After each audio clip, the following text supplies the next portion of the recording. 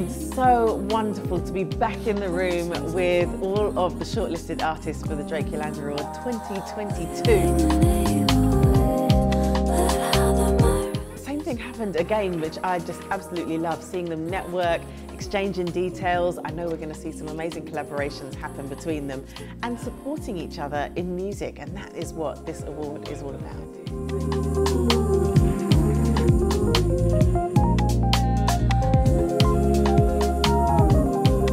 And it's great to play alongside such amazing talent. Very excited, yeah. There's so many very talented people around us. Yeah, but everyone seems really supportive and good vibes, and that's that's you know that's what you need.